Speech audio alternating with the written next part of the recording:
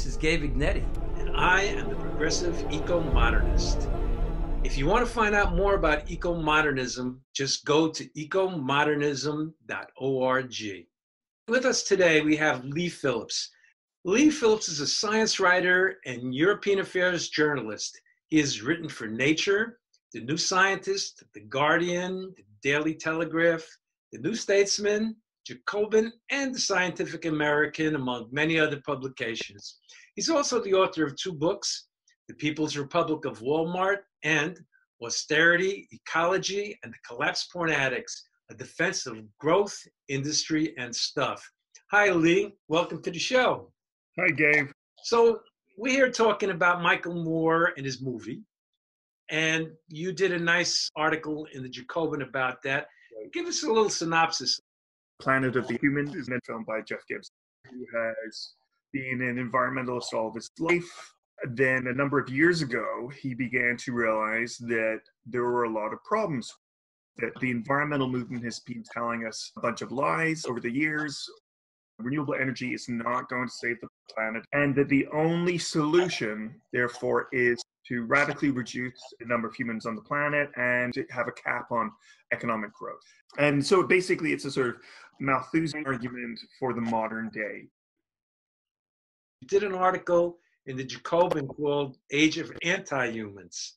So talk to us a little bit about that. So the article I wrote for Jacobin magazine was Planet of the Anti-Humanists. And basically, I sort of recapitulated a lot of the arguments that I've been making for a number of years, not just in my first book, Austerity, Ecology, and the Collapse Porn Addicts, but in a number of other articles that I've written. There's just a lot of out of date information put out in the film with respect to renewable energies and their efficiencies.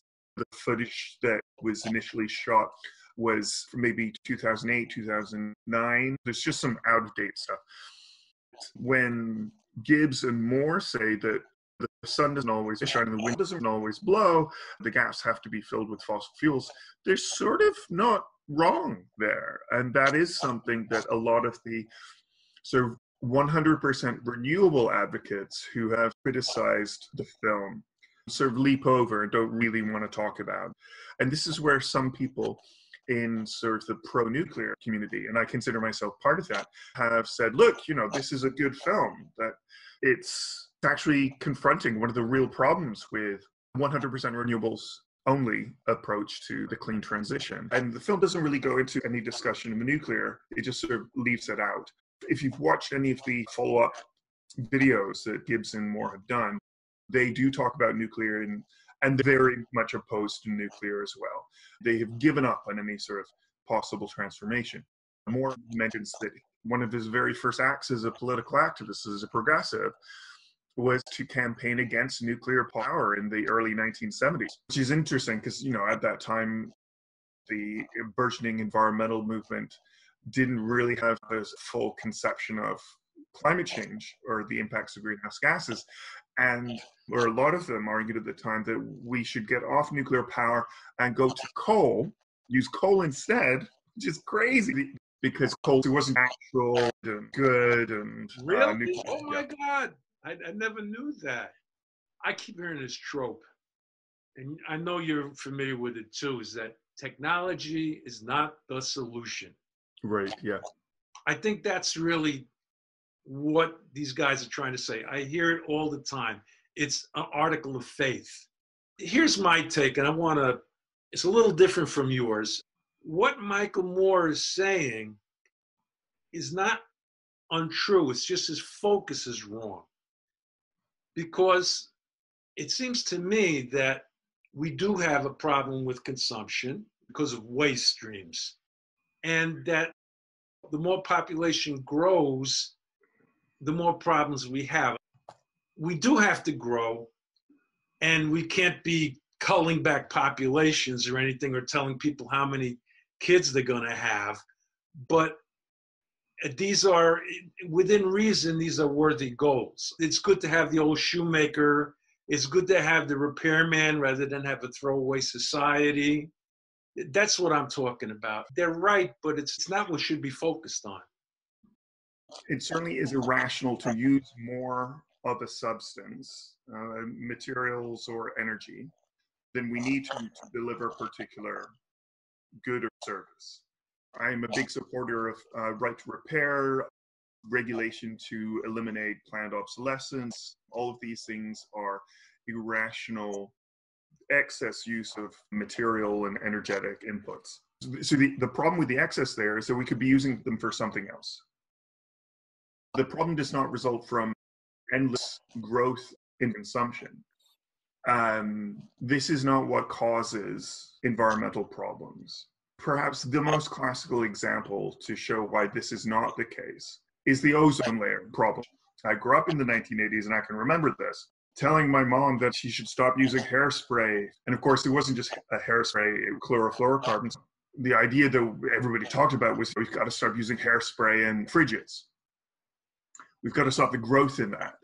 Well, what we did instead was that we regulated the market. Governments enforced technological change to switch away from CFCs to other chemicals. As a result of that, by about mid century, the ozone layer should be completely healed. So as a progressive, as a socialist, what I'm saying is growth is not what caused this. It was the market left to its own devices. And we haven't stopped having any fridges and hairspray. In fact, there are more fridges and hairspray than ever before. There's about a dozen or so different other very significant environmental challenges that we have faced from lead poisoning to air pollution, water pollution, certainly in the West. It is the case that climate change and greenhouse gases is a much larger problem. These were much easier to regulate. And the way that we do that at the end of the day is technology switching, infrastructure build out, funding of research and development, there may be some role for some market based mechanisms, but overwhelmingly, even those are still interventions within the market by government to enforce this transition. I'm, what I'm saying is that by focusing on growth, uh, whether we're talking about population growth or growth in material use or growth in the economy and GDP, you're missing the boat entirely. What we should be talking about is the problem of the market left to its own devices. And so long as we're talking about growth over here, we're missing the real villain in the room. So it's just a classical socialist, progressive, even Rockefeller Republican argument about the importance of the role of government, of regulation, of trade unions against the market left to its own devices. Oh, yeah. Yeah. It's good to consume what you want.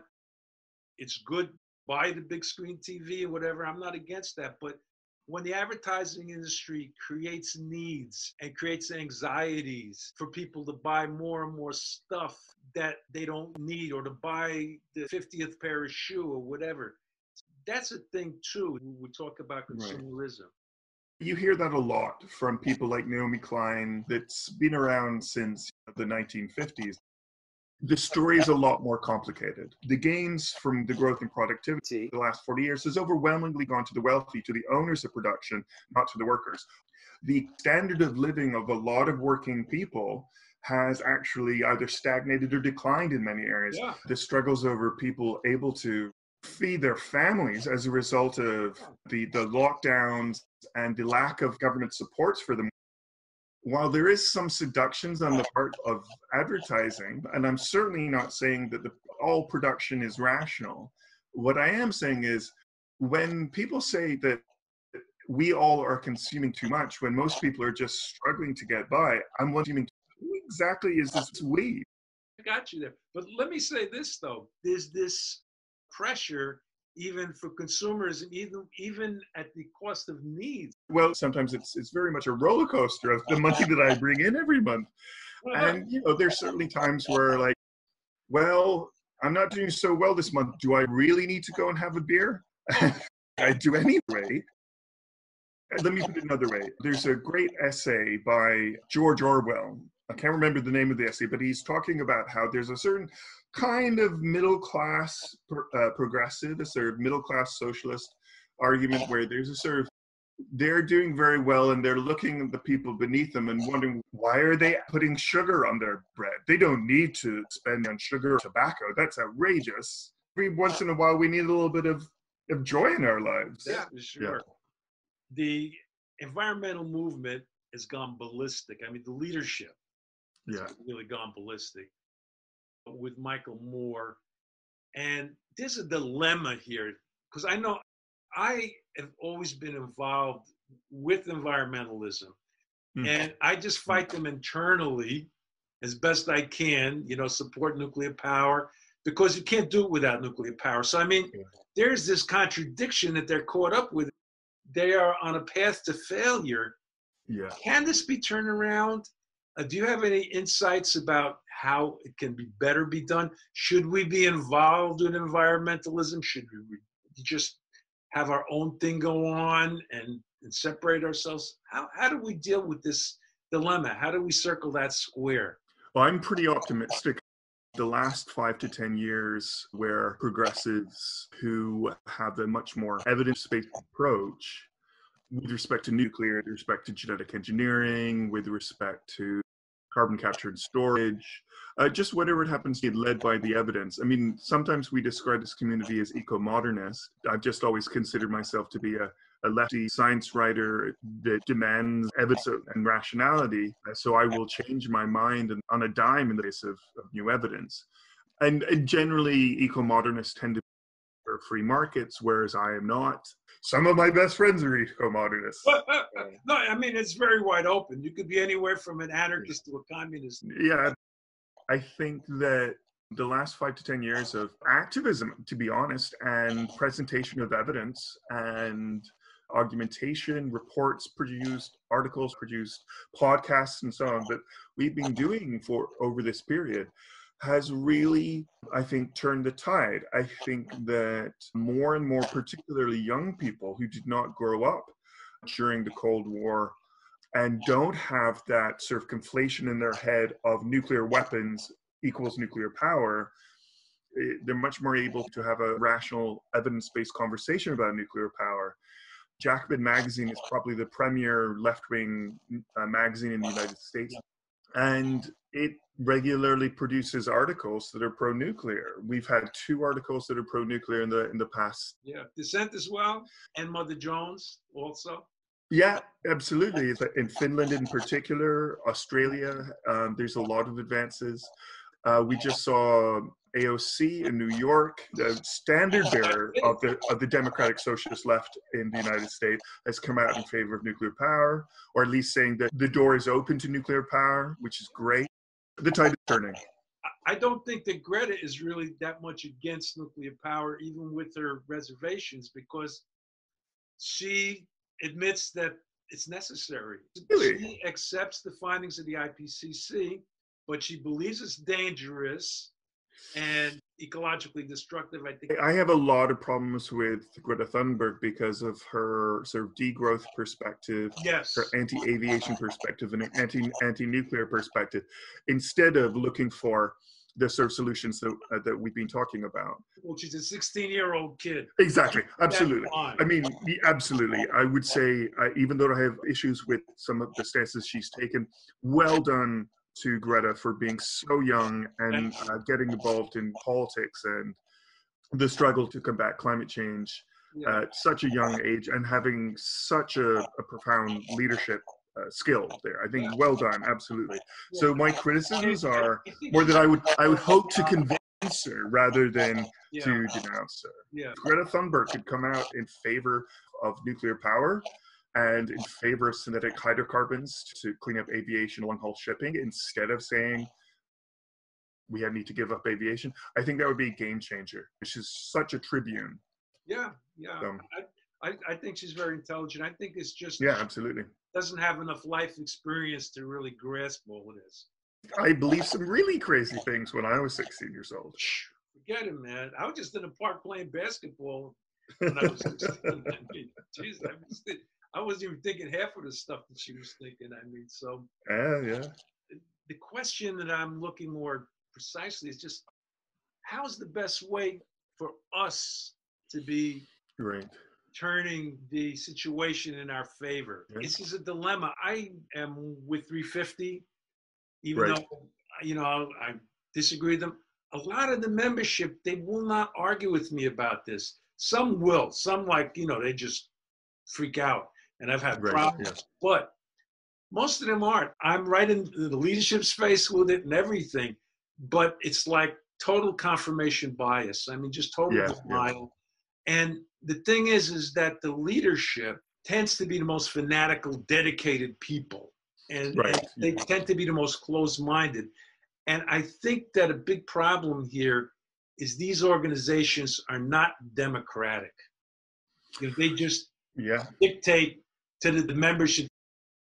in general, I don't necessarily always think that NGOs are the best sort of mechanism or pathway to achieving change. Although sometimes, you know, I recognize that they they have a role to play, but they do begin to be sometimes self-licking ice cream cones. They exist to exist.